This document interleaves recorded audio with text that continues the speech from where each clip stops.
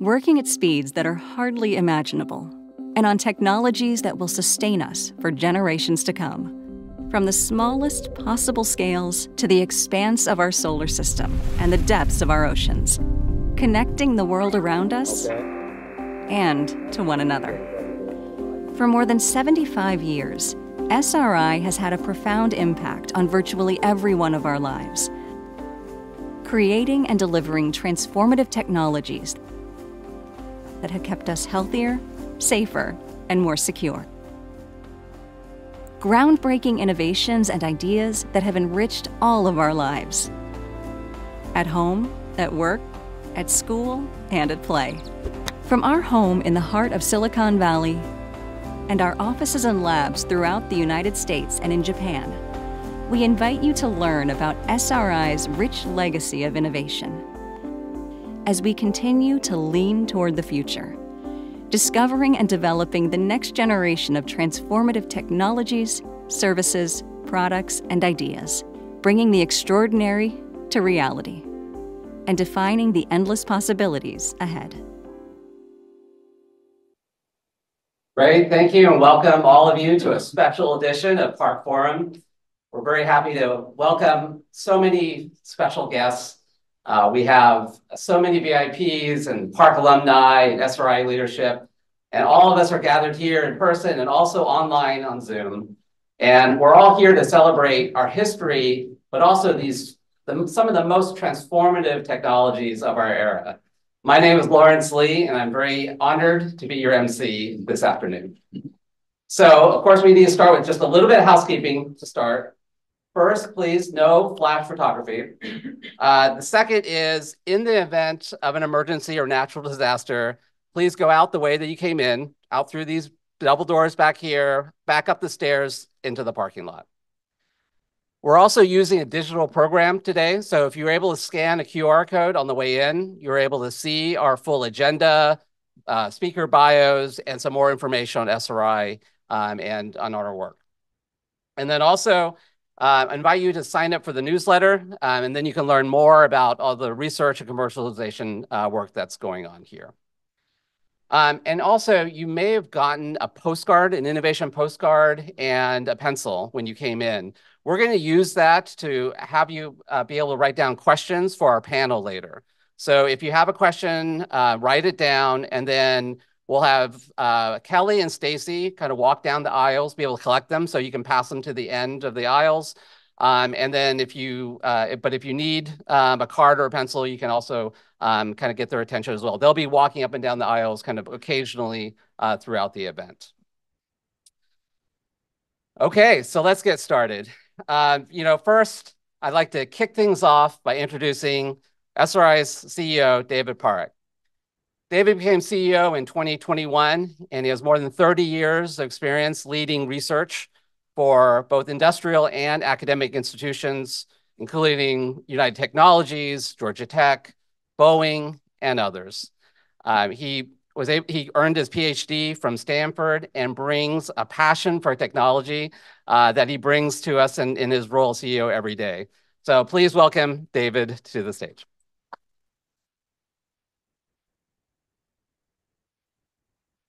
Thank you, Lawrence. Uh, let me just add my welcome. I'm delighted to have all of you here join us, uh, and I think about all the advances today that are on your shoulders, many of you. And uh, we're gonna celebrate three of them very specially today. Um, and when you think about SRI SRI was founded, as many of you know, in 1946 as Stanford Research Institute, spun out in 1970 as an independent nonprofit, and has been joined by two other iconic research institutions. In 1987, the Sarnoff Labs in Princeton uh, joined as part of SRI, and most recently, really excited, just last year, so just almost a year ago, uh, Xerox PARC and PARC joining SRI. And if you think of the three together, so many innovations. In fact, after today, three IEEE milestone awards related to these institutions. And we look back on inflection points in history and how that has been made possible by the work of these organizations, and particularly today celebrating that of PARC. And also, what's exciting is today we have over 1,500 researchers in the U.S. and Japan, multiple sites, identifying what the next inflection points are.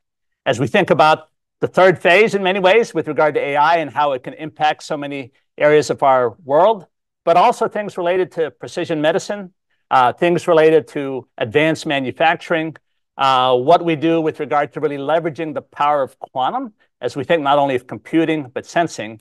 And if you think about what we're celebrating today in terms of the inventions that enabled back then the future of the office, which we use today, and we think about how things have gotten so remote, we're re-envisioning the future of both work and education going forward. That's not necessarily about being in a place, but how we connect, how we think, how we collaborate. And I think very much in sort of the history of both SRI and PARC, thinking about the computer, not just as a cool tool and how you interact with it, but how it's a way for people to use that as a resource to connect and address some of the world's most challenging problems. And as I was listening to all the buzz in the room, I thought of one more historical piece that maybe we've forgotten as we're all on monitors, and that's the buzz in the room. Uh, so really delighted that people are here because for all the connection we can have over the network, there's just no substitute for the in-person connection that we're going to celebrate today. So I hope you connect with each other, uh, renew that, and then maybe some of this becomes a catalyst for new ideas going forward. This is our second PARC Forum. This was started in 77. It was put on hiatus in 2019. We're delighted to relaunch it uh, because it's a mechanism by which we can bring the community together uh, with thought leaders from around the world, Nobel Prize winners, Turing Award winners, uh, Pulitzer Prize winning journalists, and other key people driving how we think about innovation and some of the interesting challenges of our day. And so we're delighted that on the second one uh, with the relaunch, partnering with IEEE, have this very special uh, milestone event. Uh, so with that, uh, turn it back over to Lawrence so he can do, introduce our keynote speakers for today. Lawrence?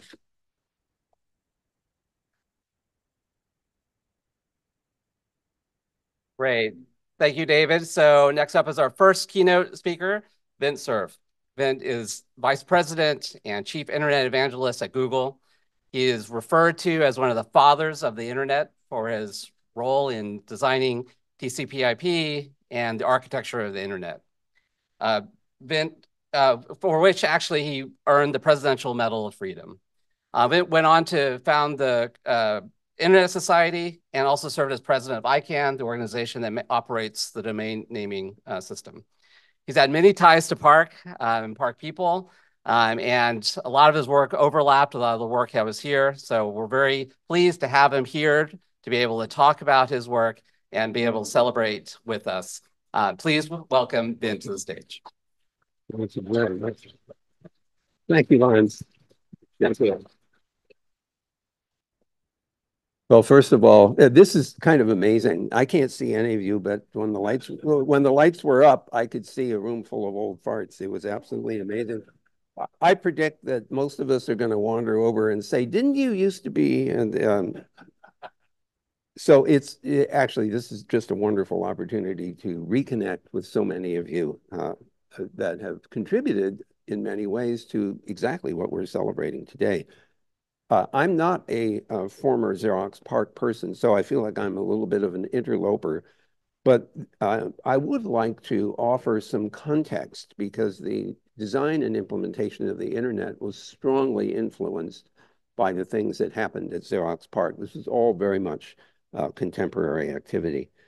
And uh, there will be more milestones celebrated this week, more on Sunday and then again on Monday at the Computer History Museums. So this is an extraordinary uh, week or so of days for those of you who have been part of this story for so many years.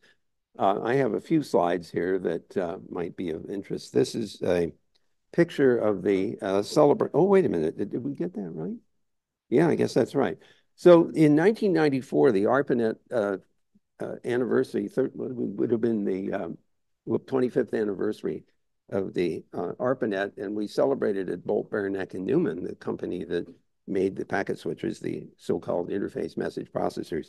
So this was a Newsweek magazine um, photo. It took us all day to set this up. You know, the drawing all this stuff. And we had to go go find the zucchinis and the yellow squash and the yellow cable and five pound tins of coffee we had to empty out.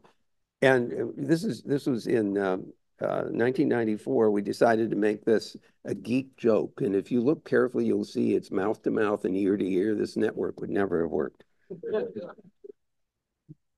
know, that, so that was, and I, not too many people noticed. It was a lot of fun.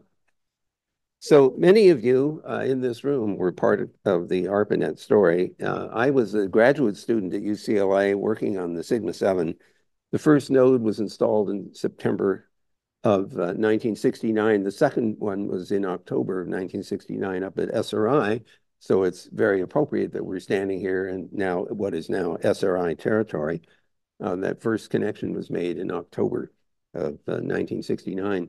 Uh, uh, the Sigma 7 is in a museum now, and some people think I should be there too, but here, but here I am. So uh, anyway, uh, the, the important thing is that, that this development was part of the um, threads that uh, also emerged out of the Xerox PARC activity, which was absolutely dramatic, as you will see as time goes on in this session. Uh, this is what a packet switch looked like in 1969. It was delivered to UCLA around Labor Day, and it was in a very heavy metal case with some with some uh, uh, hooks on the top, as if it might be dropped in by helicopter. The reason that this was delivered with such you know dense material is they knew it was going into extremely hostile territory. A bunch of graduate students were surrounding it, and anyone who's dealt with graduate students knows how hostile they can be. Uh, and he, this is very important because the ARPANET development showed that we could make different computers talk to each other with a standard set of protocols. But Bob Kahn uh, realized when he went to ARPA in late 1972 that this technology could be expanded and used for command and control in, in the uh, military. But in order to do that, you need to deal with mobile vehicles, ships at sea, and aircraft. And this ARPANET was built with dedicated telephone circuits connecting the packet switches. But if you try to, you know, connect the airplanes that way, they can't get off the tarmac and the tanks run over the wires and the ships get all tangled up. So he had to move to radio. And so he had a packet radio system under development by Collins Radio uh, and outfitting uh, uh, here at SRI, the mobile vehicles, the radio repeaters on the mountaintops, and this um, nondescript packet radio van, which, by the way, is uh, at the Computer History Museum now. And I, am not quite sure how many of you in the audience ever saw this, but the story is that um, we would drive up and down the, the Bayshore Freeway and occasionally stop. And the engineers would get out from the cab and go into the back where we had all the equipment to measure shot noise and error rates and things like that. And there's a story about one day the police noticed this nondescript, unmarked van with a stacked dipole array antenna sticking out the top. And nobody's in the cab, so he goes and bangs on the back door. The doors open up, and he sees all these geeky-looking guys with beards and you know displays and you know computers. And, and, and he says, "Who are you?" And uh, somebody says, "Well, we work for the government." and, and the guy says, "Which government?" But, but officer, we were only going 50 kilobits per second. this was a very, very important development, though, uh, and it stemmed out of the Aloha network that had been done earlier at the University of Hawaii. And we will be celebrating Ethernet. And that also, that concept stemmed from a visit that Bob Metcalfe made uh, at, to uh, the University of Hawaii. Uh, but he figured out how to do that on a coaxial cable at a hell of a lot faster speed than they were doing it there. But the radio connection was super important um, at this at this point. So this is what the ARPANET looked like uh, a bit longer, and you'll see that Xerox PARC was up on the network certainly by 1973. And I think this is very important for a couple of reasons. First of all, PARC is not far away from Stanford University. I was uh, at Stanford when Bob Kahn and I started working on the internet design. And we had students who were working at PARC, and we had PARC people coming to Stanford to, uh, to take classes and also to participate in a seminar on networking. So it's very important uh, to acknowledge that PARC had strong influence on some of the things that went on in my class. The satellite network was also part of Bob's um, idea because for ships at sea, we needed long distance communication. So we had a packet satellite net over the Atlantic using Intelsat 4A with multiple ground stations contending for access to the uh, uh, synchronous satellite, geosynchronous satellite uh, over the Atlantic. So I want to acknowledge that the PARC Universal Packet idea, which Metcalfe and Shoch and others who are here participated in, they influenced a lot of our thinking, but they had to do it in a very subtle way because um, they were not allowed to talk openly about the work they were doing. Xerox wanted to keep it proprietary. And so in the seminars, uh, John Shoch would make hints about things that didn't work, try to get us to pay attention to things like that uh, without exactly telling us what was going on with, PARC Universal Packet. Now, eventually that morphed into the Xerox network system, uh, which uh, saw significant use for a while uh, in, uh, in other systems. But uh, we weren't able to, to, they weren't able to share all the details with us, but it helped us a lot. Now, since I have a few minutes left, um, I, wanted to share a few anecdotes with you uh, about uh, this experiment. First of all, um, I have to say that, uh, that because we were starting to deal with radio and, uh, and uh, the PARC folks were telling us about the Ethernet, all of those technologies were lossy. And the protocols that were originally designed for the ARPANET assumed absolute uh, success in the network. And of course, you don't get that in the radio environment. So the TCP IP protocols had to recover end to end for packet loss. And so it was helpful for us to have three different technologies, packet radio, packet satellite, and Ethernet, that drove in the direction of end-to-end uh, recovery uh, from packet loss and disorderly arrival, and in some cases, duplicated arrival. Second thing that I would observe is that as uh, PARC continued to explore potential applications that you'll hear more about today and you all remember, they were living 20 years in the future, as near as I could tell, with the Alto machine, the laser printer, uh, with the bitmap displays, uh, the mouse, all of those things, and the Ethernet, of course. All of those things really placed those 250 or so people in two decades into the future. And I think as we look back on that, we can we can be in awe of what they were able to accomplish. Uh, now, it turns out that another important element of all this is the commercialization of these technologies. And in the case of uh, Ethernet, Bob Metcalfe, as many of you will remember, uh, left Xerox PARC to start a company called 3Com, which is all about computer communications and compatibility. And the thing that's important there is that once these technologies become commercially available, they become much more accessible to the private sector and to the research community. And it, it frankly stimulated university campuses to network themselves. Uh, the National Science Foundation encouraged that networking. And of course, there was another element that was particularly helpful, and that was the in installation of TCP IP into the Unix operating system. Now, here comes anecdote number one. Metcalfe was really pissed off that Google, I'm sorry, Google, that ARPA funded, sorry, I get mixed. Yeah, yeah, senior moment, senior moment. He was pissed off that ARPA paid um, Bolt, Beranek, and Newman to put TCP IP into the Unix operating system. What was supposed to happen is that Berkeley guys were supposed to put the, the uh, BBN version into BSD 4.2. Bill Joy took one look at the code, and although I wasn't around to observe, he decided to write his own. So he, uh, so they released a version uh, of uh, the uh, Unix operating system with that. Now, and the reason that Metcalfe was pissed off is that he had just spent money to get TCP/IP into Unix for 3Com in order to make the Ethernet, and he pissed. He really got angry at me. He said that he lost a lot of money in mobile, and then later he admitted they made about a million bucks out of that. So, uh, but but that wasn't enough for Bob. Um, he decided to he he decided to get even uh, a little later, and he decided to predict that the internet was going to suffer a gigalapse. And some of you will remember he published this article. It was all going to collapse. He tried to name a date, and then it didn't. And uh, to his credit, he agreed that uh, that he would eat his words.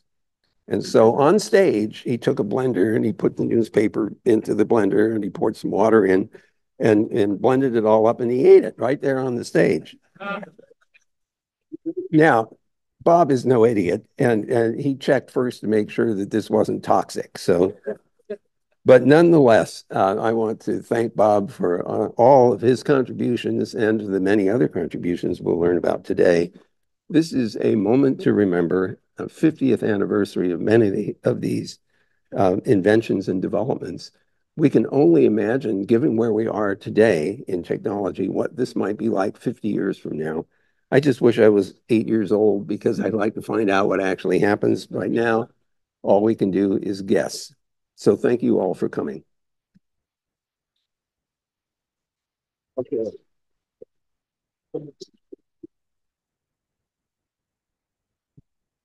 Thank you, Vin, for sharing those stories. And it's a great transition to our next keynote speaker, Bob Metcalfe. Uh, Bob is a 2022 uh, ACM Turing Award winner, and of course is best known for the invention, standardization, and commercialization of Ethernet, um, including founding 3Com, as Vin noted. Um, Ethernet was the world's first open local area network standard, and of course, an integral part of our lives still today. Um, Bob spent six years here at PARC from 1973 to 1978, and we are honored to have him back here on campus to talk about his work. So please welcome Bob to the stage.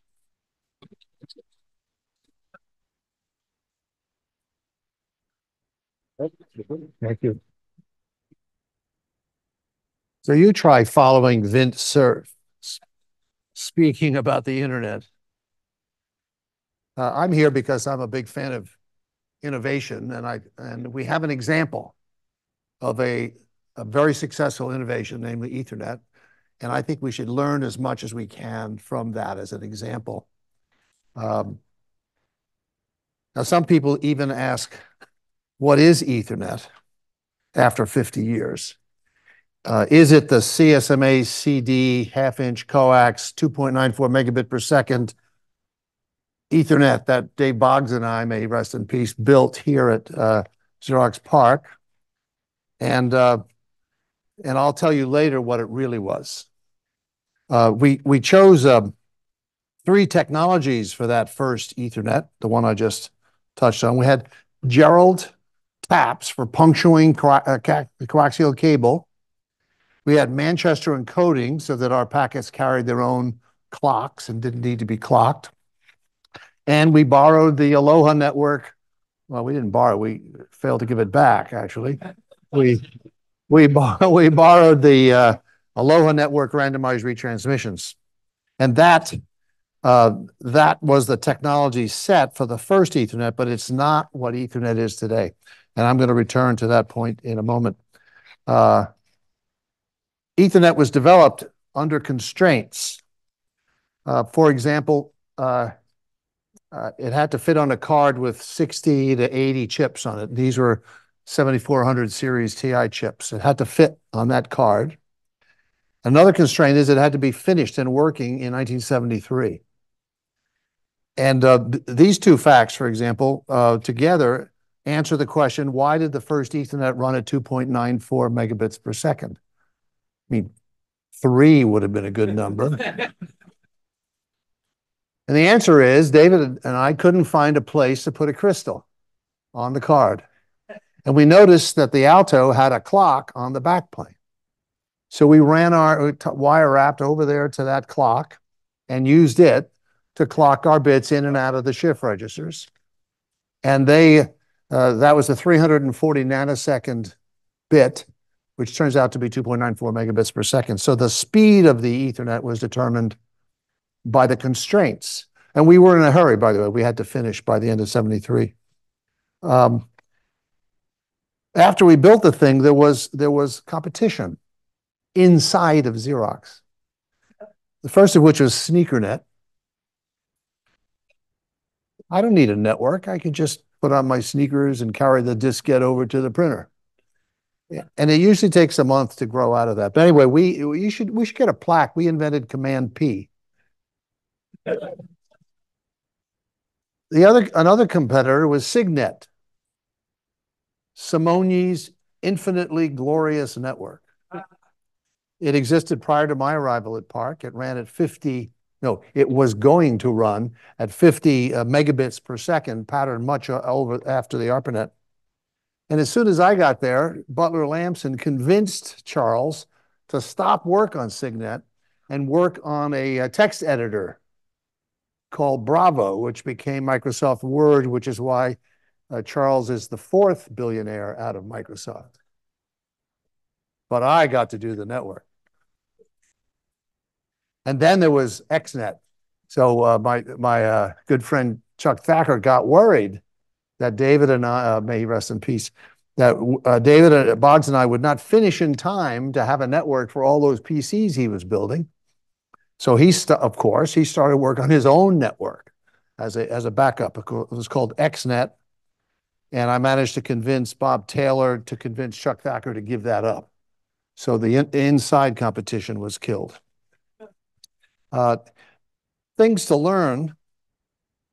One thing I learned is don't work alone. So David Liddle, who's sitting right over there, I approached David and I said, you have a grad student, Boggs, David Boggs, who doesn't seem to be fully employed. Will you give him to me to work on this project? And David, thank you, David. A good thing just happened. Usually when I tell a story with David in it, he denies that it happened. so he gave me Boggs and Boggs and I were like this for two years, uh, building Ethernet and its implications. Uh, and I miss David. Uh, not Liddle, David. Uh, so don't work alone. You generate too many errors. The layering of the internet, brilliant idea, helped us build the damn thing. It just adds a great deal of simplicity. So my company got to live at the lower levels of the internet while the other companies made the billions up here at the higher levels of the network. Um, uh, protocols. You build all this hardware that moves packets around, but then you need protocols. And that's, we were in a rush. So I'm sorry, Vint, we did build PUP and, and XNS and, uh, and for a while, oh, but, but 3Com also shipped the first commercial version of TCP IP. Uh, it was called UNet. Uh, and we co-announced it with Microsoft in 1980 and uh, Microsoft was going to put our UNet into their strategic operating system, which was called what? Well, that's what we thought. Xenix is what it was. So they thought e Unix was going to be their strategic part. So it made sense for our Unix TCP to go into Microsoft's. And of course, a year later, they announced DOS uh, and abandoned Xenix immediately. So then we uh, we had to go along. We went along with uh, XNS for a while, like Novell, our arch competitor, also used it. Um, so what is Ethernet? I'm almost done now. Uh, I think it's a brand, and I'm the brand manager. And what an Ethernet product is is it's it works.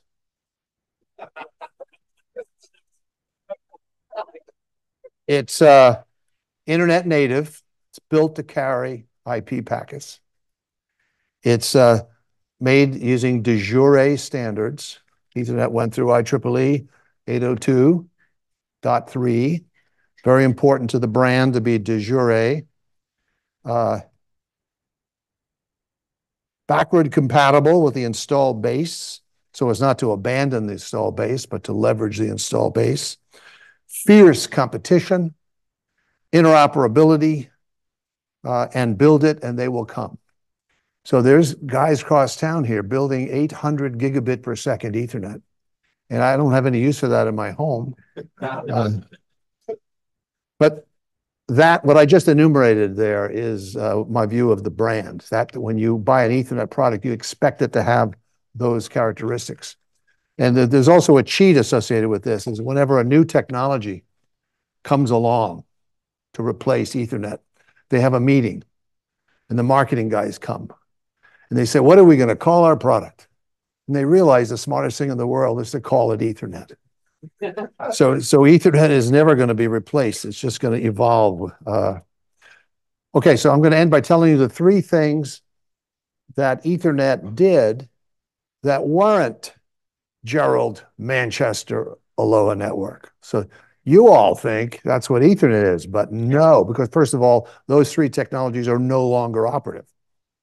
They're long gone. So there's other stuff running there. But here's the three things that Ethernet did do. One is it brought packets to the desktop. Prior to Ethernet, the packets went to the host, typically a PDP-10, and uh, which ran an app and sent characters to your dumb terminal. And after Ethernet, the packets went all the way to your desktop so you could write your own network applications. As I think a guy named Tim Berners-Lee did one of those. An app that he put on top of the packet uh, APIs of uh, Ethernet equipped machines. The second thing that Ethernet did, accomplished, contributed, was abundance of bandwidth.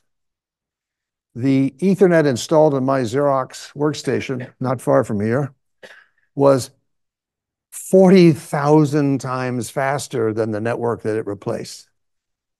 And maybe it was only 10,000. Not 10% faster. No one thought that that's what I said. Not double. 10,000 times faster, ending uh, bandwidth scarcity. So after Ethernet, we changed our mindset about bandwidth and it became abundant. And finally, uh, Ethernet joined the standards movement. The internet is a standards movement, TCP, IP, and we tucked Ethernet right in the back of that as an IEEE 802 uh, standard. And thank you, IEEE. Um, and we're going to have chance in the next couple of days to thank 802 more directly. So thanks very much.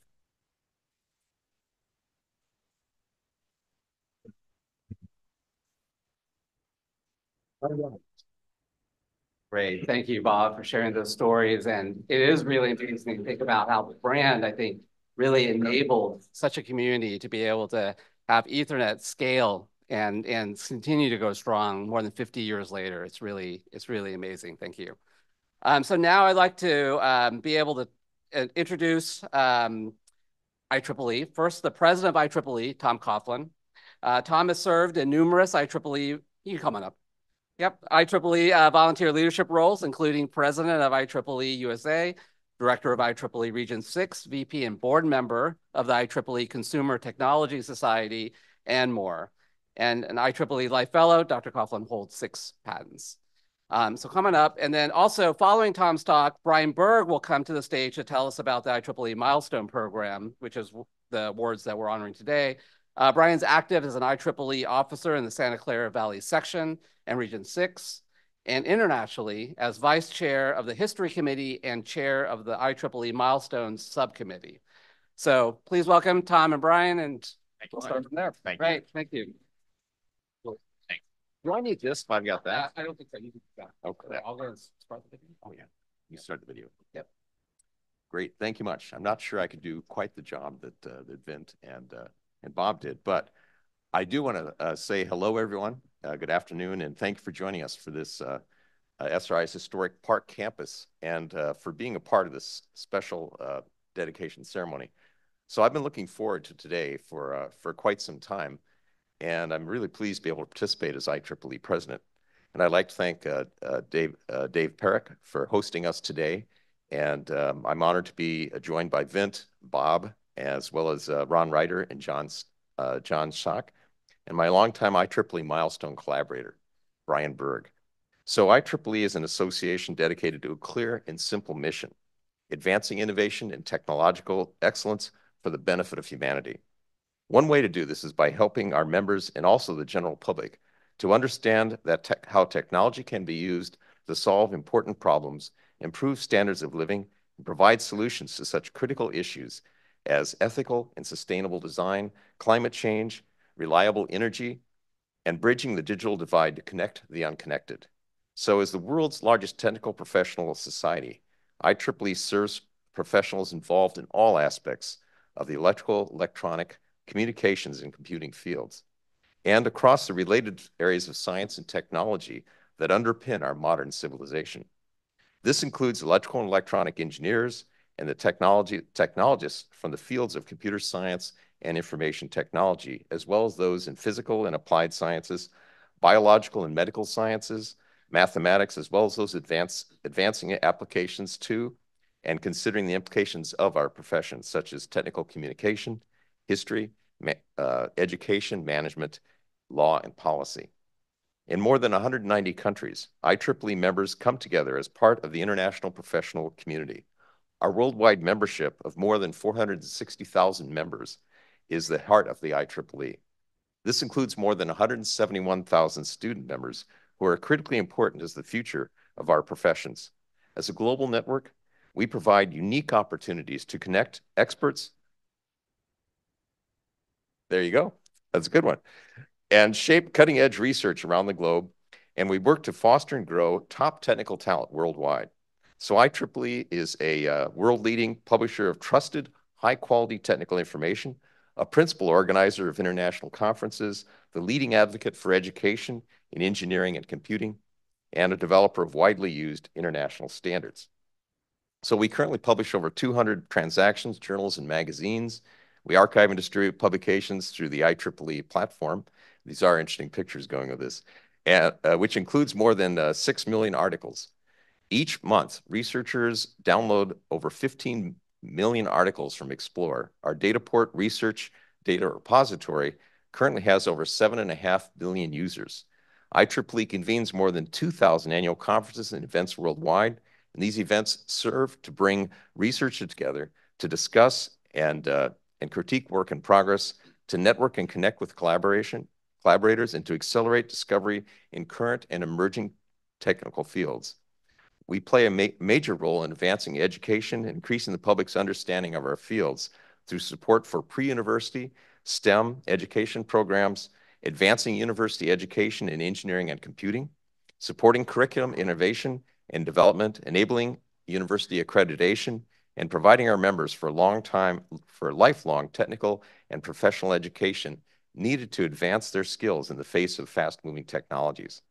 So as a leading producer of standards, which talked about 802 before, IEEE has been committed to standards development for over a century and to shaping the trajectory of technologies through our engagement in international standardization.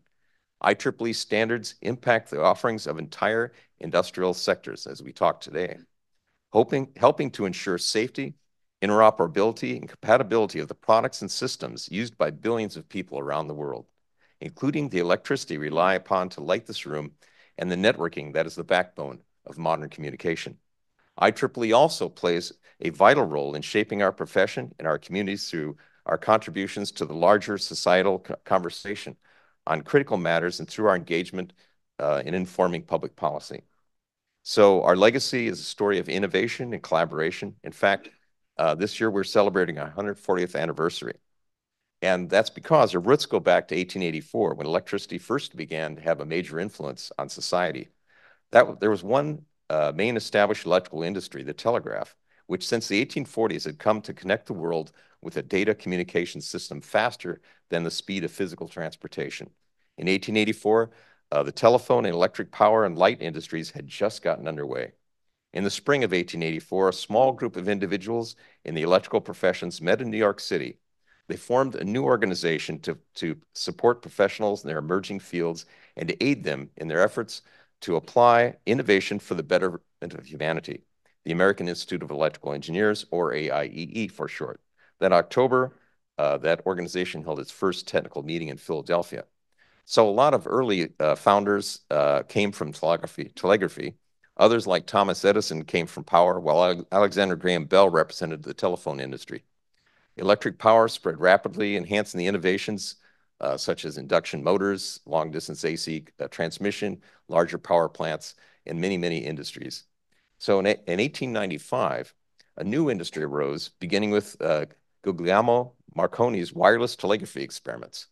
What was originally called wireless telegraphy became radio with the electrical amplification possibilities inherent in the vacuum tubes that evolved from John Fleming's diode and Lee de Forest triode. and in 1812, the Institute of Radio Engineers was formed. So uh, over the decades that followed, uh, well, in 1963, these two organizations got together and they merged to form the current IEEE. So we have roots both in communication and power and many other technologies. And over the decades that followed with our leadership, uh, the societal roles of technology uh, continue to spread around the world and impact more areas of people's lives. Um, since that time also, computers evolved from massive mainframes to develop appliances to portable devices linked by global networks connected by copper wire microwaves, satellites, or fiber optics. Electronics became ubiquitous, integrated in everything from jet cockpits to industrial robots to medical imaging and eyeglasses. As technologies and the industries that developed them increasingly transcended national boundaries, IEEE has been keeping pace, becoming a truly global institution which uses the innovations of the practitioners it represents to enhance its own excellence in delivering products and services to, help our members, industry, and the public at large. Today, we continue to be at the forefront of technological revolutions in energy, communications, computing, and the underlying disciplines of in hardware and software that have supported these technological advances in the many fields of application and industrial activities, consumer products, transportation, medicine, and many other domains that have shaped our modern standard of living. So our field has fundamentally changed the, the way the people uh, communicate, the way we work, the way we move, learn, heal, create, in short, the way we live and the way we've been able to deal with disasters such as uh, the COVID pandemic. So regardless of their genesis, these different advances didn't happen in a vacuum. Well, maybe some of them did, like those tubes. But creative inspiration and, and diligent endeavor require context, memory, and support. Throughout the past 140 years, the IEEE has been there to provide these ingredients that fertile ground from which these achievements can flourish. Our various technical communities have brought the best minds in engineering together, created the spaces where they can share their work and cultivate innovators, entrepreneurs, teachers, and leaders to advance technology for the benefit of humanity. Over nearly a century and a half, electrical engineering has grown from a largely theoretical branch of physics to a pastime for driven eccentrics, and then finally to a thriving profession that has changed the world. As it did so, it produced and nurtured brilliant innovators and industries of incalculable value. Throughout it all, IEEE members and their colleagues, supported by IEEE conferences, publications, standards, recognition, educational activities, and professional communities, have produced innumerable discoveries and inventions that have, that have uh, led to the world we live in today. From humble beginnings, IEEE has grown into a global institution, the world's largest technical profession organization dedicated to advancing technology, again, for the benefit of humanity. So as we celebrate our 140th year, we're going to continue to engage and support the technologies that are making enormous strides in fields such as electric vehicles, semiconductors, alternative energy and grid technologies, biomedical systems, space exploration, uh, AI, among many uh, emerging uh, fields of endeavor. So as I wrap up, I'd like to sincerely thank everybody again, for your participation here today. Our professions have a long, rich, and important history, and it is essential that pioneering technological developments and discoveries and the women and men behind them are preserved for generations to come. It is an important part of IEEE's mission to preserve the legacy and the heritage of our professions, to recognize great achievements, and to promote the importance and impact of engineering so as to inspire the next generation of technologists. By celebrating the pride and prestige of our professions, we demonstrate how engineers, scientists, and technologists contribute to our global community and have helped to build today's technologically innovative world. They have shaped the trajectory of technology, our communities, and institutions. Their stories, their lessons should be told and retold. And the anecdotes we, that we just hearing about, as long as human beings strive to make the world a better place.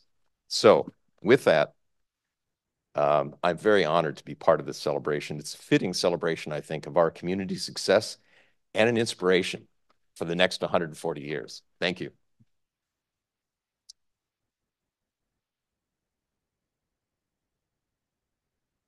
Brian is coming up, I just want to do a quick, make a quick reminder. If you have a question, please go ahead and write it on a card, and then Kelly and Stacy will be able to get that for me. Okay, thanks. Thanks, Brian. Great. Thank you very much. Hello, everybody. Happy to have you all here. So let's see. So I've been working with Milestone since 2010, and I get to have fun and meet cool people in the process. I've been involved with been involved with about two dozen of these so far. In the in the audience here is Dick Ahrens. He's the one who first turned me on to doing this. We were walking around Flash Memory Summit back in 2010 and realizing that the work that Eli Harari had done with regard to the EEPROM that led to flash memory was worthy of a milestone. And so that was the first milestone that I got to work on, and that got me hooked. So um, with regard to all this, we want to thank uh, IEEE for IEEE.TV for streaming today. They're also going to be streaming events on both Sunday and Monday. We've got an event that's been referenced uh, that's going to be taking place at the Computer History Museum. That event is currently sold out, but it can be streamed, and you can uh, if you don't want to write anything down, just remember IEEE.TV.IEEE.org, and you'll get links to all three of those events, including uh, the ability to get a video of today's event as well. So we've been talking about various standards uh, at that event uh, on next Monday. There's three more milestones that are going to be dedicated. One is going to be for the IEEE 802 Standards Committee, the ones who manage Ethernet, Wi-Fi, and, and other standards. Also for the TCP paper that Bob uh, Kahn and Vint Cerf wrote and was published in 1974, as well as for the birth of Google in 1990, 1998 and their PageRank algorithm. So those three will be dedicated next, next Monday. Uh, with regard to the uh, milestones that we'll be learning about today, I want to um, acknowledge the expert reviewers who ensured the uh, accuracy of the uh, information in those proposals. For the Alto, there was Chuck House, who's watching this event online. Robert Sproull, also online, and Dag Spicer, who I believe is in the audience uh, from the Computer History Museum. For the laser printer, we had John Shoch, who we'll be hearing from, as well as Jeff Thompson, who's here in the audience. And for Ethernet, Len Shustek, who's uh, Chairman Emeritus of the Computer History Museum, as well as Marc Weber. So here's an example of a milestone that's been uh, located at Qualcomm. This was dedicated uh, about five years ago. And anybody who comes to Qualcomm is met by this milestone. A visitor will see that milestone right in front of them before they even enter the building. This is an example of how proud uh, companies and entities that receive these milestone recognitions are of these. And SRI visitors will be greeted similarly, as will be seen after the event today. So here's a few examples of some of the milestones that have been dedicated since 1984. Uh, Bletchley code breaking, the CD audio player, the bullet train in uh, Japan, Japan is very active in the milestone uh, program. They've got, uh, I think, a couple dozen milestones in Japan and more coming along as well. So I've been, been uh, had the ability to work with some of the folks in Japan, and they're very serious about this, and they want to get all the information very accurate. So we really respect them for that. So here are the uh, nine milestones now that um, SRI has. Uh, got the three that are being dedicated today, and it's already been mentioned with regard to three that are from um, uh, uh, David Sarnoff Labs in Princeton, that's the TIROS 1 weather satellite, as well as the color television and the, um, uh, let's see, liquid crystal displays. And then the three that are dedicated uh, over at SRI are for um, Shaky the Robot, mother of all demos, and the first um, ARPANET transmission from UCLA to SRI. So here's uh, the plaque uh, for that uh, first ARPANET transmission. If you look on the right, you'll see the three plaques that are in the entryway at, at SRI Labs over in Menlo Park. And then these are the first four nodes on the left, and initially it went from UCLA to SRI. Another one that was already mentioned in mother of all demos, a uh, little interesting detail. Stewart Brand, who uh, edited the whole Earth catalog and also founded the Well and the Long Now Foundation, was actually the assistant stage manager for that. He's the guy who actually managed the camera that took a picture of the image for the screen for a Xerox computer that was sent via microwave up to San Francisco and then Doug, Engel, Doug uh, Engelbart up there would be clicking on his mouse and moving it. Those transmission signals would travel over a telephone line back to SRI. So that was how they did the demo in San Francisco. Amazing event in and of itself, not to mention what he was demonstrating. Now, the, we've also been hearing a little bit about in the intro slides from Tom Coughlin about Shaky the robot. I'm happy to have Peter Hart here. I worked with him for Milestone that was dedicated back in 2017 we had a great event at the Computer History Museum, and um, it's an interesting story with regard to that. So how did SRI ask the government to build a robot in 1965? You know, that's a pretty, pretty lofty uh, expectation. And so they figured they would turn them down. So they used a code word, a mobile automaton. So when they asked for that, they got the money, and that's how they built the world's first mobile intelligent robot. So here's the actual letter that includes the words intelligent automata to reconnaissance.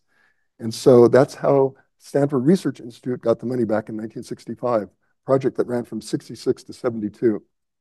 And then um, here's uh, Shaky, and with all the different parts of it identified. A lot of people look at that thinking, oh, it's a computer on wheels. Back then, you had computers like a mainframe Xerox computer running this. This is not a computer on wheels, but it, what it did is it moved around on those wheels and could look at its environment. And first time computer vision was done. So you have a camera that's actually able to discern objects, build up a database, and later travel around the same area and avoid those objects because it knows where they are based on the database that it has. So here's that computer that uh, was running um, Shaky the robot. A similar one was running the mother of all demos uh, I was just talking about.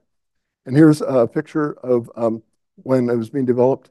And Helen Chan Wolf is often called the Lady Ada Lovelace of robotics programming. Literally the first person to program a robot. And then here's um, Shaky's early learning environment. So we'd move around and find out where those objects were and build up the database and remember them and use that information later.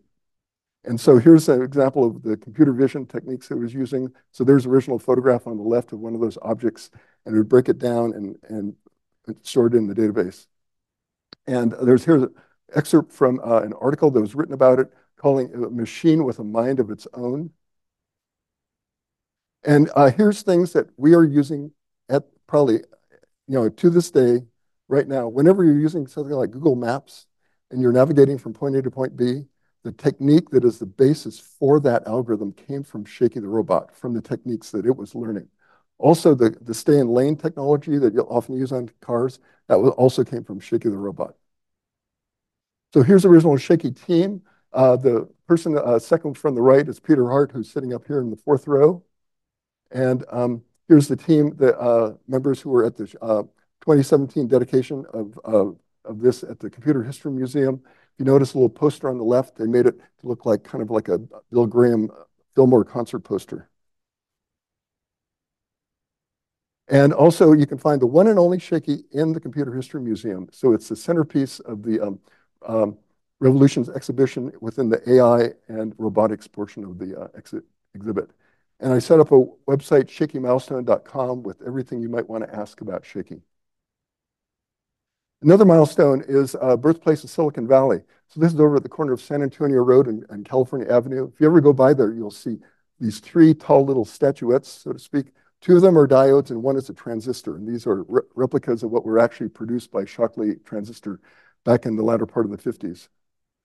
And then uh, on the other side of that building, uh, there's one for Moore's Law. And here's a silicon um, crystal in the middle of a fountain with the plaque mounted at the edge of that fountain.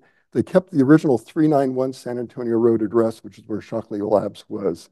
That's also, if you ever went to Pacific Stereo back in the 80s and 90s, it was in that same location where Shockley Labs was. And uh, the, uh, the planar process and integrated circuit uh, that was created by Fairchild. There's uh, on Charleston Road near 101 in San Antonio. There's a California State Historical Marker number 1000, as well as a uh, IEEE milestone plaque. Another example is SLAC, just real close to us here, um, for the work that they did. And this is an example of a milestone that, uh, in conjunction with the American Society of Mechanical Engineers, the two together created this milestone plaque. And also uh, the DIALOG online system. I believe that um, uh, Roger Summit is here. I'm not sure if he's in this audience. I know he'll be with us Monday at the Computer History Museum. But he created this at Lockheed. And this actually was a search system that was ahead of any search system on the internet by over two decades. And it's actually still in use to this day. You, you have to pay to use it, but companies like pharmaceutical companies that want to do their research work for new uh, products they're making, they want to have vetted information and they're willing to pay for it. They use a uh, technology that came from this DIALOG system. And one of the key things about it is able to do iterative search. When was the last time you went on the internet and actually did iterative searches? You really can't do it easily. So that's a key factor of this. And here's um, the original uh, lab with the, um, all the data storage on all those disk drives. Also, Ampex videotape recorder. Do you know that Bing Crosby actually invested in that in Ampex because he loved to play golf. but recording his TV show was a conflict with his ability to play golf. So he invested in Ampex in Redwood City, and they created the the first um, videotape recorders, and it got a standing ovation in 1957 when it was uh, presented. Um, and also with regard to the University of Utah and Evans and Sutherland, they established, um, with again with uh, ARPA funding, uh, a center of excellence for computer graphics research. And um, a lot of amazing things were done there. Uh, John Warnock, who worked here, and also Alan Kay, who worked here, uh, were at this event. Actually, Alan Kay via videotape. But Warn Warnock, five months later, passed away. So this is probably the last time publicly that he uh, presented. Another one I worked on with some of the people who also came out of the University of Utah uh, with regard to RenderMan. Here's Ed Catmull, co-founder of Pixar with Steve Jobs. And outside of Pixar, if you ever see that in Emeryville, there's a plaque you can see at the bottom. The one at the top, there's two plaques that are actually mounted there. One of them is for the work at Pixar for RenderMan. The one below that is for the University of Utah. And there's a, there's a wall of fame, as I like to call it, at the uh, Computer History Museum, where there's now 26 bronze plaques, including duplicates of the ones we're dedicating today and duplicates of the ones that will be dedicated on Monday. So I have a real hobby. Milestones have become my hobby, and I have fun doing this. So I'm happy to present for you today. Thank you very much. Thank you. Okay, so we're getting close to the main event now. Uh, we're getting ready to unveil the milestone plaques. But let me first say that as a longtime PARC employee, I'm really pleased and honored to be here today so that we can celebrate these amazing, impactful technologies, and more importantly, the people and the teams behind them. I think that's very much what you've heard uh, today. And it's uh, amazing to think about all of the impact that all of you here many of you here were able to create.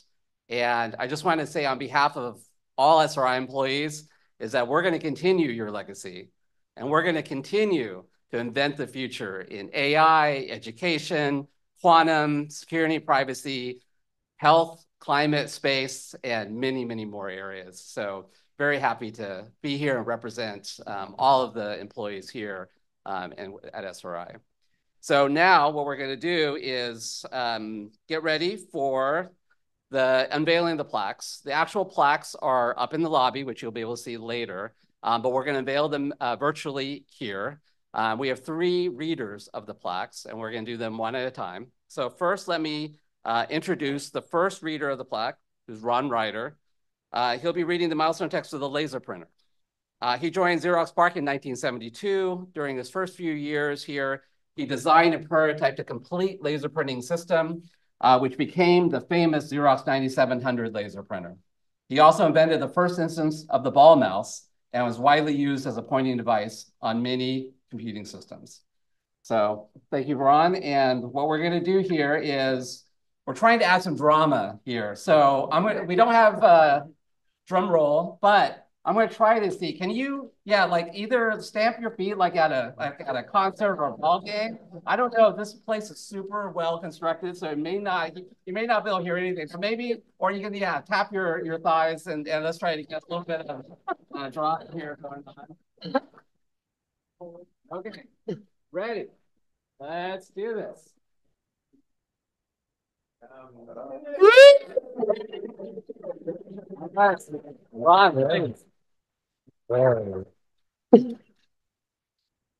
Okay, so the development of the commercial laser printer from 1971 to 1977, Xerox PARC researchers demonstrated the feasibility the feasibility of laser printing on a one page per second Xerox copier in 1971 and with computer generated images in 1972.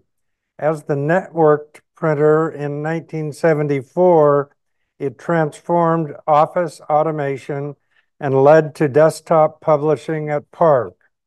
The Xerox 9700 printer proved commercial viability in 1977 and helped launch the non-impact printer industry into a new era of printed communication for print shops, home, and office.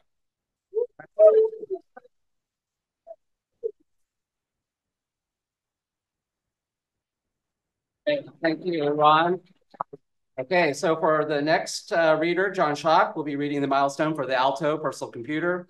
John joined Xerox PARC while he was still an undergraduate at Stanford he remained at PARC until 1985, working with Ron Rider, Bob Metcalfe, Bob Taylor, and many others to develop the Office of the Future, most notably the PARC Universal Packet protocol that you heard about earlier. Um, he'll be uh, uh, he'll be reading the, the, plaque. So what we're going to do again, let's try to get a little bit more drama again. Give everyone. Come on, wait, I can beat Ron. It's not a competition, but it's always a competition. Thank you. Thank you, Lawrence.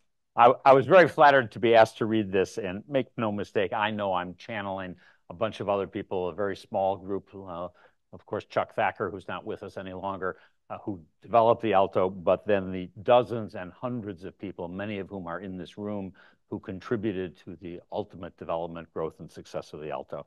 And therefore, I'm channeling all of you when I read this, uh, the, the, contents of the plaque, for those of you who didn't bring your glasses. The Xerox Alto established personal network computing in 1972 to 1983. Xerox Palo Alto Research Center researchers developed novel hardware and software for the Xerox Alto computer, setting the model for personal computing for decades. The Alto incorporated a high-resolution display, mouse, and PARC-developed Ethernet networking. Alto software developments in programming languages, graphical user interfaces, printing, graphics, word processing, networking, and email were widely and profoundly influential. Thank you all.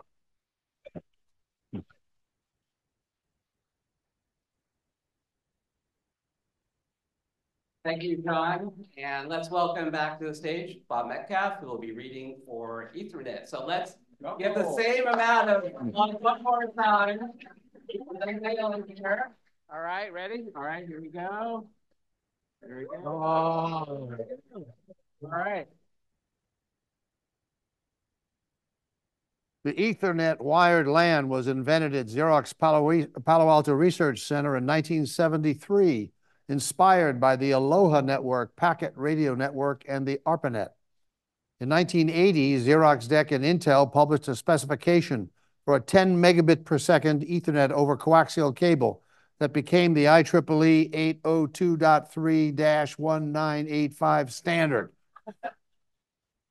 Later augmented for higher speeds and twisted pair optical and wireless media, Ethernet became ubiquitous in home, commercial, industrial, and academic settings worldwide.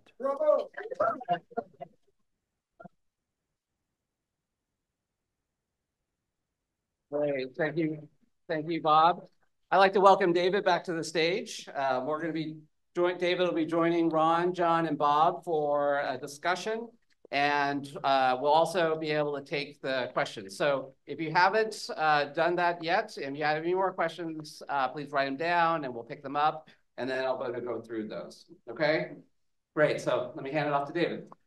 Thank you, Lawrence. I know many of you turn in questions. We're going to turn to those in a moment. But first, let me start the conversation. I mean, we're all honored to be here uh, with so many people who've invented what we live today. I was thinking of um, what you were saying earlier about don't do it alone. Bob, and and maybe uh, John or Ron comment a little bit more. You know, so I know your stories could fill the whole afternoon, but maybe what stands out in your mind of how laser printer or what was done with regard to Alto would not have been possible doing it alone? Who were the key people there? Uh, Who wants to start? Sure. Sure. So um, collaboration was the number one thing that I noticed at, at PARC. Um, I was hired to build a character generator for Gary Starkweather's laser printer. And, um, and well, I'd never built a character generator. I'd never even thought about a character generator. Um, I came from the physics community.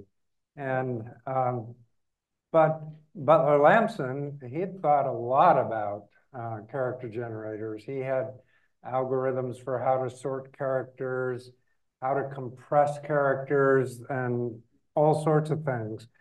And so whenever you wanted to do something at PARC, if you didn't know how to do it, there was somebody who could help you, and they were always willing to spend the time and help you do things. So it was Gary Starkweather, Chuck Thacker, Butler Lampson. Uh, Bob and I wrote software together for the first laser printer system. Um, so everybody worked together. Let, me add to that sort of a couple stories on one on, on each side. That I, part of the culture at PARC, and although there are a bunch of individuals who were incredibly smart, and I was blessed to show up there as an undergraduate, and the you know you you could contribute to something, you could get drawn into something, you'd have a conversation over the coffee pot, and there was a fair amount of flexibility. So I started out working with Alan Kay on Smalltalk, writing graphics programs on a Data General Nova. And as things evolved, and Bob had started work on the Ethernet, and the first couple boards became available. And the problem was, well, okay, we got three machines. I think one was yours, one was a Nova that we had, and there was an Alto. And the question was, how are we going to write some software to connect these things? And I was like, I mean, I'm sort of a software guy and in the education group, and and I don't remember who introduced us, but somebody said, well, we need somebody to write some, you know, the the end of the file transfer protocol that would be on the Nova, which was to be done in assembly language, and on the Alto, which was to be done in Smalltalk. And so I just, you know, you Tom Sawyer, somebody hands you the paintbrush and you say, oh, I can paint that part of the fence for you. And and that's about how it happened, you know, that, and Bob sketched out the thing and I went off and tried to implement it and we managed to make the thing limp along. So it worked. And in a similar vein, so after the black and white laser printer that Gary had done and the print server that Ron had done. Gary Starkweather, who was in the optical sciences lab, had a an early color laser printer. I don't remember what engine it was on, and it was sort of you know printing color bars. It was on a 6500, yeah. and and he he had sort of it was printing some color bars or something, but there was really no imaging that you could put on it. And, and I actually have two memos, one of which says, you know, is addressed from me to Gary and a handful of other people. It says, hey, Gary, I really enjoyed our lunch. You know, I think it's a great idea. We ought to try to figure out how are we going to get some images to actually be able to print on this thing you've got. Let's see. Well, I can, you know, I can get so-and-so to change the graphics editing program that was done in Smalltalk, and I can do a little work on the networking, and somebody's got to connect the network link, and we've got to define a simple-minded protocol or definition of what the color image might look like, and maybe we could print something, and I think it might take two months. And Gary, who was a very distinguished senior guy, know, I, I was relatively young, wrote me back a really nice memo and copied in everybody in management, said, great idea, John, we need to do this, go for it. And, and it was the classic, you know, across labs and lots of different people. And Larry, Gary was an unbelievable cheerleader, you know, which is an important element of pushing technologies forward. And then I have a memo about two and a half months later where I apologize. And I said, I said we could do this in two months. It took us about two and a half. We defined this silly little format. We modified the graphics program. We couldn't get the Ethernet on your machine. So we watched it. We, we walked the tape down to, to the color printer. And here's some printouts. And Bert Sutherland, who's my boss, you know, says, and George Pake, who named this auditorium, I get back a note from Bert that says, great job, John. Send copies of that to George Pake so he can send it to corporate. And I'm like, oh, this is from a lunch with Gary Starkweather? So anyways, uh, yeah. and two examples of the cooperative culture and that we were working in the forefront of some projects that just nobody had seen before. And I imagine also enabled by being in the same place. Absolutely. Being in the building, running into people counts for something. Yeah. Let, let me pick up on something else that Bobby had said. Uh, one of the questions I often get asked, leading research and all the amazing things people are doing, is what's next? What'll be recognized 25 years from now? And as I've reflected on that, I've often thought about at the time the things we celebrate today were invented. I wonder if the folks who invented them thought that they were an inflection point and really envisioned all the things that would change. Maybe you did or didn't. So, Bob, you're wonderfully talking about Ethernet as a brand. Uh, so I'll give you an opportunity to expand a little bit on what you said. How do you see that evolving in the next 50 years? What will Ethernet represent? What else might be moved besides packets over this general construct and concept? Can I not answer that sure. Because I'm dying to tell you about how I decided I should find out by buying a mile's worth of coaxial cable what the bits looked like going in and coming out the other end. And I'm sitting in the bottom of building 84, uh, 34. 34. And I'm uh, trying to join some cables together. And I'd never really done it before. So I was drawing blood. and this guy walks over and it's Dave Boggs. I, I, didn't know his name. And he knew how to do connectors. So this is the volunteer to help thing. So he helped me put these connectors on the ends of the cable and build a thing. And from that interaction spun our two-year uh, working on the Ethernet that's going to do all those things that you just asked me about. well trained in media, right? That knew how to pivot. So let me turn to the questions. We have a question along the line of what I asked that you could pose to Bob. I actually do have a question for Bob. Um, what was the most challenging part in the standardization of Ethernet or increasing its adoption to win in the market? Well, standardizing uh, Ethernet was a strategy, and it stemmed from the antitrust division of the U.S. government, who in, whose lawyers said that DEC, Intel, and Xerox could not meet because it would be in restraint of trade. And I called up my fraternity brother, Howard Charney. Oh, yeah. And asked Howard, oh, and prior to this, Howard had spent two years suing IBM for antitrust. so I asked Howard, what do I have to tell these lawyers so that we can meet? And he gave me a list of five things, not all of which I can remember. But one of them was going back to your, I'm actually answering his question. Howard gave me this list. You know, marketing people can't attend, you can't divide territories, you can't set prices, and you must have a, oh, you must have a government observer at the meetings. And the last one was it you, your goal must be to do an open industry standard. Um, so then we uh, said, well, how is this going to get standardized through the IETF? Oh no. Uh, uh, IEEE 488 had just been standardized well, we thought. So we found the guy who did that, Don Loughry, may he rest in peace. And we asked him, how can we do a committee to standardize Ethernet the way you did for 488? And through the Christmas of 1979, we formed Project 802, which we're going to hear about uh, in subsequent meetings. So it was Howard's in, in, uh, intervention with antitrust rules that made a really big breakthrough in getting Ethernet standardized. Hmm. Interesting playbook. Another question from the audience? Um, this is a question for the well, for the entire uh, panel. With so many reasons why technologies are successful, you know, like timing, new innovations, people, relationships, what insights from your experiences and careers do you think are most valuable today for a young recent graduate?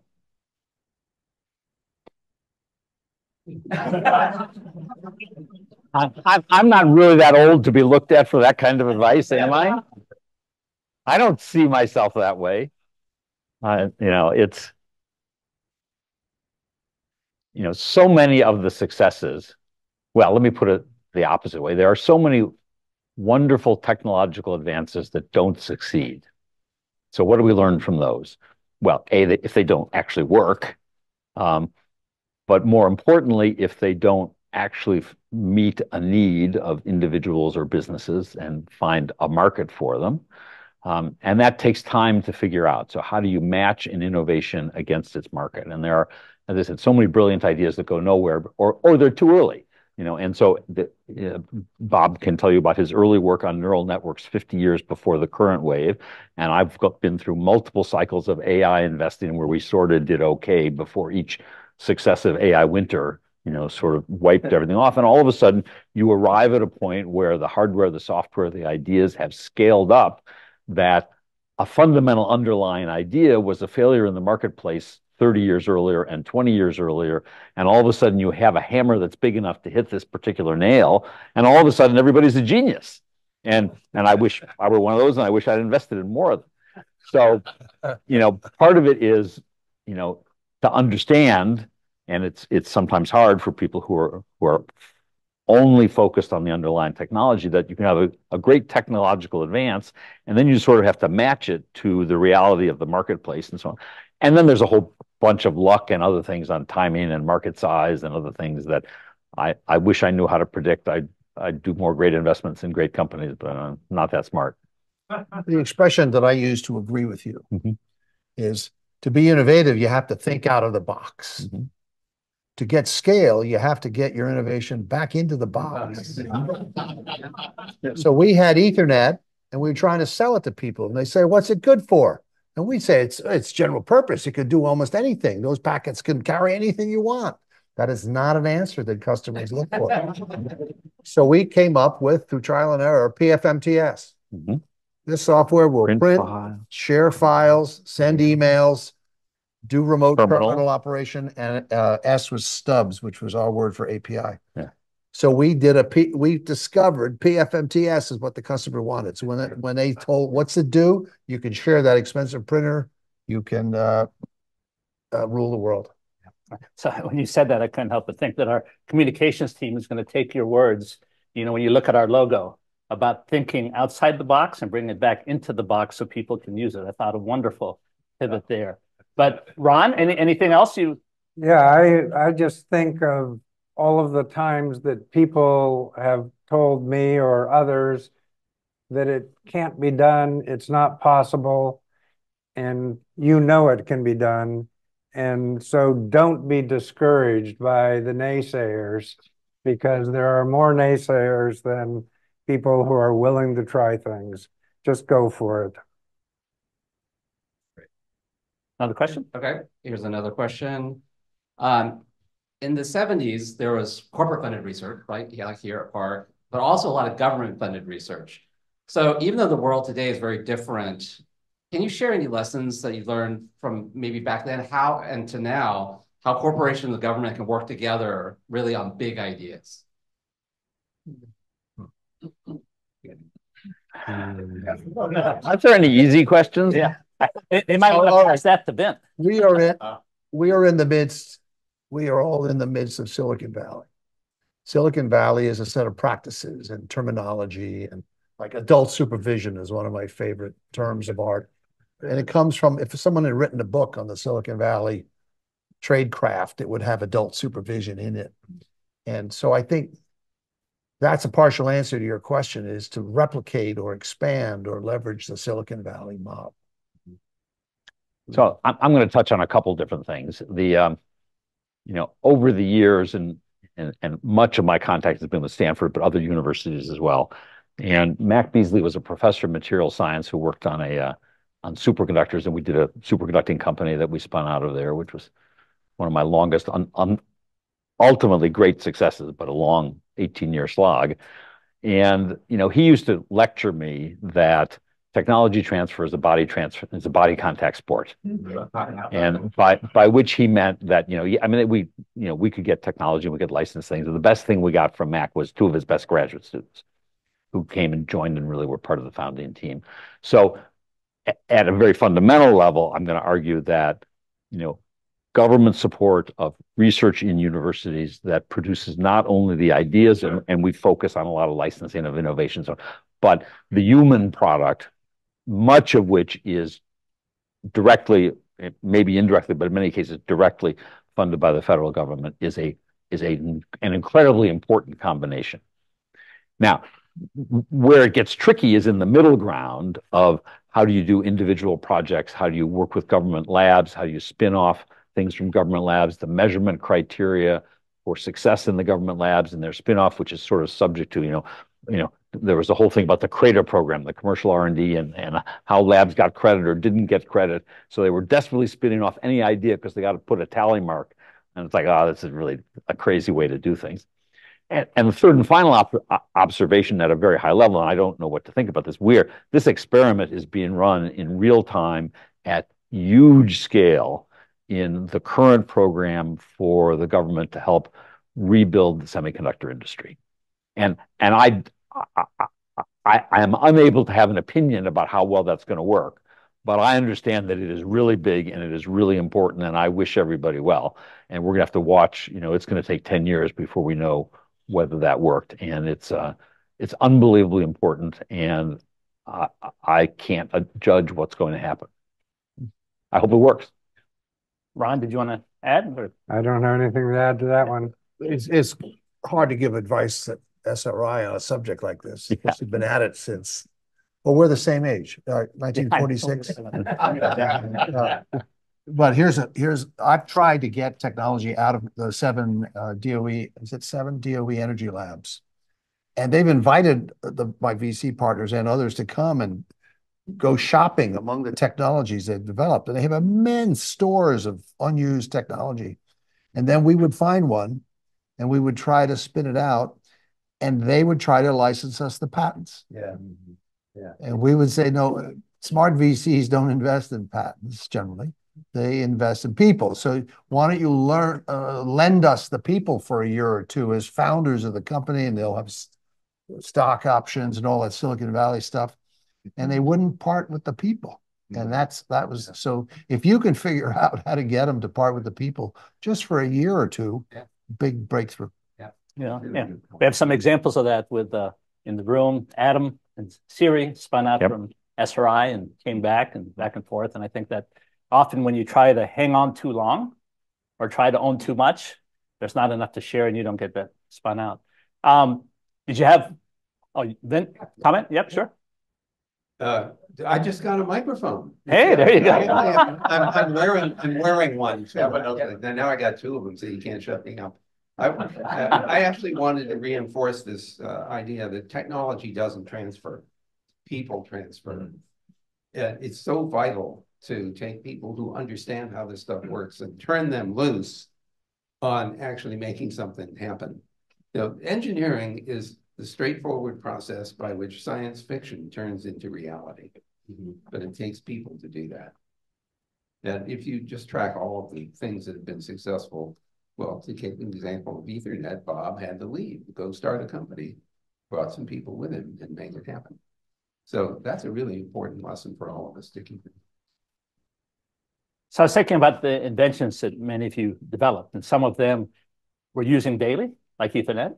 Many people in the room may no longer have a laser printer, but yet the technology that's there is being used conceptually in things like pharmaceutical printing and manufacturing.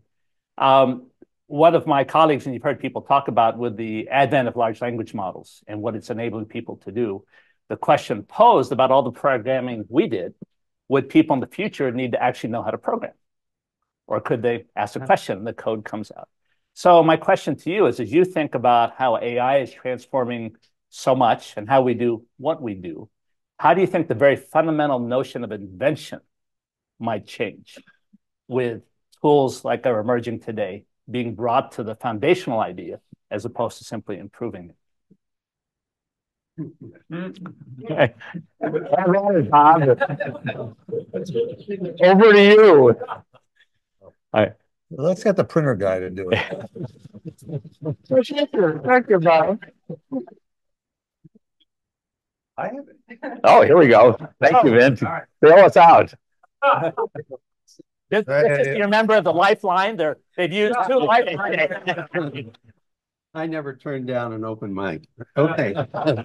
So I have some experience with large language models. I mean, Google has been very much involved in the history and development of all that stuff.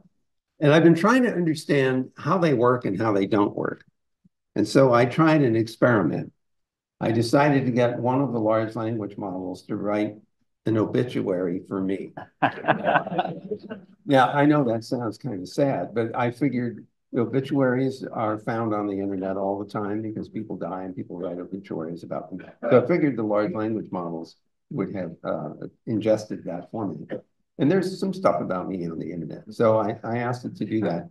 And there's there's 700 word um, obituary, and it starts out the way you'd expect. Yeah, we're sorry to report Dr. Cerf passed away. And it gave a date that was a little too early for in my head. then, then went on to describe my career, but it gave me credit for stuff I didn't do, and it gave other people credit for stuff I did. And then it got to the family members part and it made up family members. yeah. And so I'm scratching my head trying to figure how the hell is this happening? And so my little cartoon model about where we are with large language models is as uh, facile and original uh, and generative as they are, they don't fully have context. So if, if uh, Bob's bio and my bio were on the same web page somewhere, mm. the system would ingest both of, the, of them and then uh, build virtual um, uh, probabilities of the words or the tokens, as they call it, uh, how they might interact with each other, and how close they might be in the generative output. And so it's mm-hmm. easy to see how the system would generate stuff that it had plucked from different contexts and didn't know that it was drawing on, you know, a counterfactual output from factual information. We still have a ways to go to figure out how to do that. And the current practice, which I barely understand, is to pre-prompt the thing in order to put it in some sort of a state so that when it does answer the prompt, it is more likely to produce factual output, but we're still a long ways from making that happen. So uh, be careful what you bet on. Yeah. Well, maybe at a future PARC forum, we'll feature some of the folks who are living 20 years in the future as they're thinking about what tools are beyond large language models and how all of this will come. And wonderful answer. Thank you. Uh, so we're now, if I take on one more question between the audience and food, so let me ask Lawrence, is there a really good question in the stack that you have that Oh, good. would, Well, this is a fun question. I think, I think, I like this, and it could be short, which is, what is the wildest technology you had tried or helped or worked on that no one knows about or no one talks about?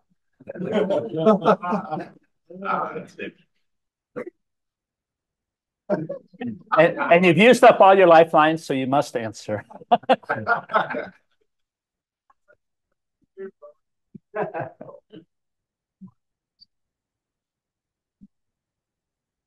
Well, you know, I, it, you know, my my worst, as people know, I spent the first third of my career at Xerox and the latter two thirds in the venture capital business. But the venture capital business is pretty pragmatic. I mean, you know, the, I mean, I, you know, if my biggest mistakes in venture capital were generally being too early. You know, a, a good idea, a reasonable market, and but by the time you you spend the first couple rounds of money, you find out that technology is not quite as far as along as you thought, and that the market is much further out than you thought. And you know, I had an early deal that uh, combined uh, cell phones with mapping technology and um, you know feedback from users. And so it it had we had a couple little prototypes. My favorite one was where to find a public bathroom. So, and and th this was this was one of our sample use cases. Was you know you're a mom with a baby and you're in San Francisco and you need a bathroom, and you can pull out your phone and you have user generated content that says the bathroom in Macy's in the back left corner is a really clean one, and this was really cool. And I thought we were going to knock the cover off the ball, and we were about ten years too early before Google Maps, user generated content. You know, Great idea and just way too early, clunky, hard to build, couldn't get the advertising model. We shut the thing down. So, you know, if if anything that I did was that far out, I probably wasn't doing my job very well. Now, I have personally invested in a fusion power deal, which is a, which you know, which is maybe in the, I hope it's not in this category, you know, and, and it Are you expecting it next month? no, no. I've invested in Fusion. And Commonwealth Fusion out of, uh. uh, that's the one I invested in. Ah. I, So I, This is a startup that's raised several billion dollars. and unbelievable. Not an AI startup. yeah. So th- th- this is not directly relevant to the question, but I do have a wonderful story about. So I said I, I, I've lived through investments in two generations of superconducting circuits. Hypres, which was an early one out of IBM, which was in the four degree Kelvin, and then the high temperature uh, one where Mac Beasley and some of the team helped us. And and I spent 18 years. We were in and out of it three times, near death experiences repeatedly, and I swore. And, and we got out and did fine, except I can't tell you how many sleepless nights I had. And and I swore I would never do a superconducting deal, a material science deal. These are all way too hard. And some friends were Isn't Fusion one of those? Yes, so fusion, fusion, I mean, this is a story about the venture capital business and about entrepreneurship and about ideas. So I'm, I'm like, oh, no, no, no. So some friends come, John, you know all about superconductivity. We use superconducting tape to make the, uh, the magnets. You'd, you'd be a great advisor and investor. Come help us. And I said, are you kidding? I got, I, I know way too much about this. And, and they finally said, no, no, John will be great. I said, okay, I'll make one phone call. I'm going to call the guy who did the superconducting tape at Conductus and spent PhD out of Cornell, spent 18 years at it. And I'm sure he's going to tell me well, how stupid this idea is. And, and I call him up and I start to describe the situation and he goes, John, you got to stop. I said, I said, why? He said, I'm working for the company. I said, what? He said, oh yeah, I read about what they were doing. They were buying all this superconducting tape. And I went to them and said, I can build it for you, but you need to give me this huge amount of money in this huge factory. Now, this is like you call, you ask the waiter in a restaurant, what's the best thing on the menu? And he tells you, and then what, you don't take his advice? So they called him up. The guy said he's voted with his feet. He's working there. And, and, and everything tells me this is an incredibly risky, although actually fairly far along in fairness. But in, you know, so it's about as far in the future as I'm, I've ever been able to think. But the beauty of this company is they're building a, a tokamak, which is a fusion reactor. Yeah. And you, you can see it, it's like thirty feet across. But getting the reactor to work, which is what all the other fusion companies are focused on, these guys aren't focused on that. They expect their, this is gonna work. They're building ten thousand reactors. They're, they're approaching like in the, in the design of the, of the uh, mag, uh, superconducting tapes. Yeah. Uh, how can we build these really cheaply at Q, at quantity ten thousand? And that's what I like about this company. Yeah, so as, as we think that we're coming here to celebrate the inflection points of the past, a hint about a potential inflection point of the future, and continue the conversation at the reception, but to give our printer guy the last word. Um, Ron, you know, maybe of things that you worked on, are there some ideas there do you think still have merit? That it'd be great if someone picked it up, right? Or Well, it- something along that line. I mean, it's interesting. I spent my entire career at Xerox, um, almost entirely in laser printing. And, um, and we did lots of different things and we switched to high quality, very fast color printers.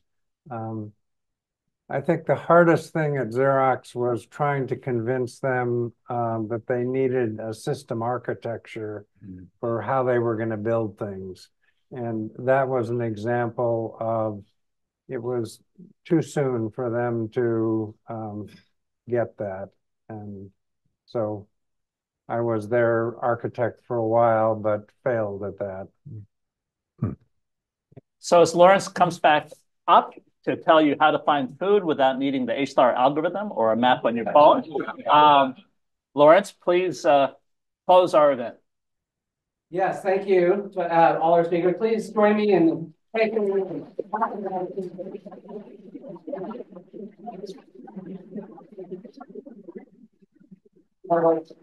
What we're going to do is we're going to, so the speakers, we're going to go up to the reception. Let's give them some time to be able to make their way up there. So please stay in your seats and then I'll close and give you the logistics in terms of how to get there. So um, thank you again to our speakers and we'll look forward to seeing you upstairs in the, in the, in the reception.